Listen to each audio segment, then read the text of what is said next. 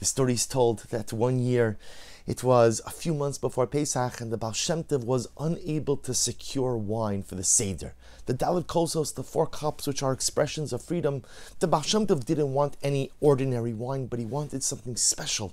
He wanted something really spectacular. He wanted something befitting of the four cups, which are supposed to be a manifestation or a physical expression of our chirus, of our newfound freedom that we celebrate on the Yom Tov of Pesach. So the story is told that he sent two of his Hasidim to faraway lands in Arabia to select the most beautiful grapes and produce incredible wine with which the Baal Shem Tov could use to discharge the obligation on the Seder night, to feel like royalty on the first night of Pesach. And so the Hasidim go excited and really feeling privileged to go on such a special mission, a holy mission for their Rebbe. They go to some faraway land, they select the grapes. And you know, the production of kosher wine requires Jewish supervision at every stage. So they oversaw the harvesting of the grapes, and then the crushing of the grapes, and then the collection of wines, the fermentation of the wine, everything. Finally, Baruch Hashem, after a couple of weeks, they're ready to set out back home to the Tov HaKadosh. And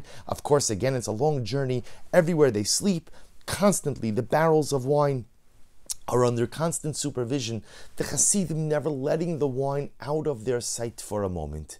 They finally get back home. They get home late at night, excited that Emir Hashem early the next morning they will arise, daven, go to the Baal Shem Tov and present him with his wine for the upcoming Yom Tov of Pesach. Everything is going great. The chassid who's storing the wine in his home, he goes to daven, he comes back from Shachris, ready to go to the Rebbe. Months, months after the Rebbe sent him on this mission, ready to go to Rebbe. What does he see? He sees from a distance he has a young Gentile girl who's in the house helping with the cleaning. And he sees the Gentile girl is by the barrels of wine. She opens up the barrel, pours for herself a little cup of wine. Right, it's five o'clock somewhere. And she drinks the wine. And the chassid is watching this from a distance. You know, dear friends, you ever have one of these episodes in life where you see things happening in slow motion, but yet you are powerless to stop it. See, he sees this non Jewish girl drinking from the barrel of wine, taking a drink from the barrel of wine, and he sees it happening in front of his eyes and he can't stop it. Now, I know the halacha is that non mevushal wine, uncooked wine, which is touched by a Gentile, is no longer fit for Jewish consumption without getting into all the intricacies of the halacha. And you could imagine the chassid was so crestfallen.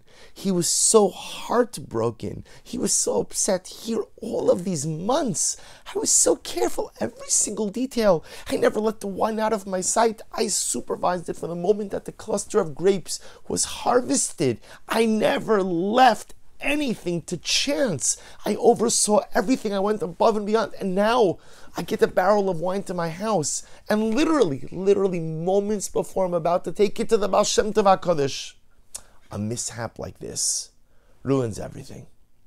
So the chassid goes to his Rebbe. He goes to the Baal Shem Tov HaKadosh. But he, of course, he goes empty handed. And he walks into the Baal Shem Tov study and he can't even get out a word. He just begins to sob begins to sob. You know, all of those months, dedicated effort to ultimately actualizing his Rebbe's wish and directive. And now he comes back empty handed. Finally, he calms himself down. He tells the Rebbe the entire story. The Baal Shem Tov understands, of course, that his chassid is crestfallen, his chassid is upset. The Baal Shem Tov's not upset, the man tried his best. So the chassid turns to the Rebbe, to the Baal Shem Tov, says, Rebbe, tell me, what is it that I'm supposed to learn from this episode? What should I take from this? Here, I tried so hard, I put every single ounce of human effort possible. I went above and beyond. What could I learn from this? You're not going to have the wine. So, what could I learn? The Baal at first didn't want to say anything because he saw the chassid was all distressed. Why go ahead and it's fine, don't worry, you tried, thank you. Chassid persisted, Rabbi, tell me what I'm supposed to learn. So the Rebbe takes the chassid's hand in his own and he says, My dear chassid, I want to tell you. You know what the problem was? The problem was you thought that the success of this mission was all in your hands.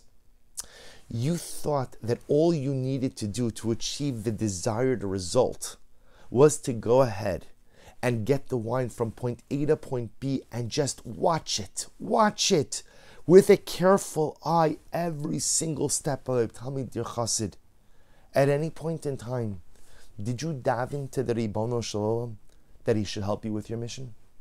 Did you ask him for his assistance? At any point in time in this mission, did you ever think to yourself, I can't accomplish this on my own? Any million, one of a million things could go wrong. I can't accomplish this on my own. I need my father. I need HaKadosh Baruch Hu to help me out.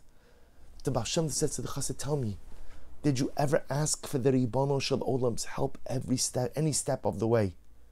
To which the Chassid sheepishly responded, No, Rebbe, I didn't. I didn't. Because I didn't think I needed it. I felt like, I got this. I could handle this. There are things you need HaKadosh Baruch Hu's help for, and there are things you don't need HaKadosh Baruch Hu's help for. Why do I have to bother the Melech Nachem Lochem, the King of things, with every single thing? Certain things I know I don't control. I don't control my parnasa. I don't control my health. I don't always control elements of my mishpacha. I understand there are things I don't control. But getting a barrel of wine from point A to point B and making sure that it's kosher, making sure that it's beautiful, I felt I could handle that. The Baal Shem Tov says, my dear Chassid, that was your mistake. There is nothing we can accomplish in life without the Ribono Shel Olam.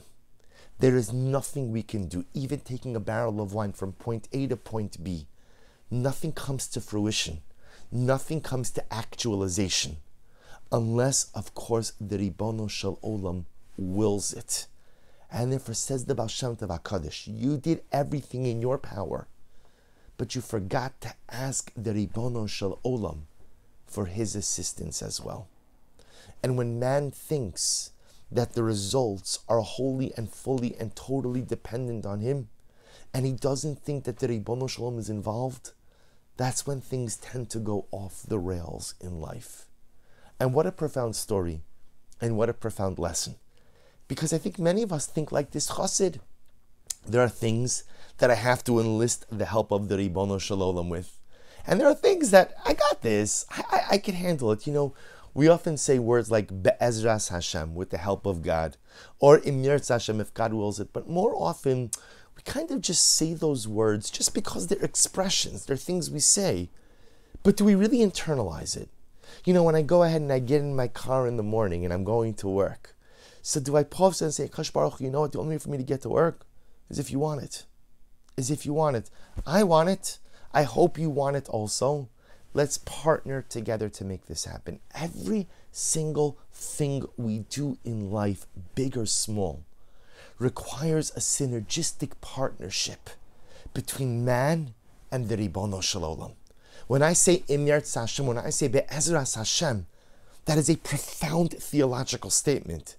It's me saying that whatever I'm going to do in life, big or small, only works only happens, only has a chance of success if the Ribono Shel Olam is brought in to the process. So maybe this is something we could work on this week. Bringing HaKadosh Baruch Hu into the activities of daily living. Some sitting behind the wheel of the car ready to start the car. Emir Hashem, I'm going to work. Kadosh Baruch Hu, I'd like to go to work. Baruch Hashem, I'd like to earn a parnasa. Come with. Come with be part of this journey because I can't make it to the office if you don't want it. If you don't want it. And every step of the way, invite HaKadosh Baruch Hu to be part of the process. Everything I do in life, ask HaKadosh Baruch Hu to be part of the process. Because if I invite the Ribono Shel Olam to be part of my commute, to be part of my marriage, to be part of my chavrusa, to be part of my business deal, to be part of everything, then I have a greater chance of success. But if I think that I've got it without a Kadosh Baruch Hu, I'm making such a profound mistake in life. Let's invite the Ribono Shel Olam to join us on every life journey, big or small. And in Mirz Hashem, with His presence, we will be Zocha to be successful. Wishing everyone a wonderful day.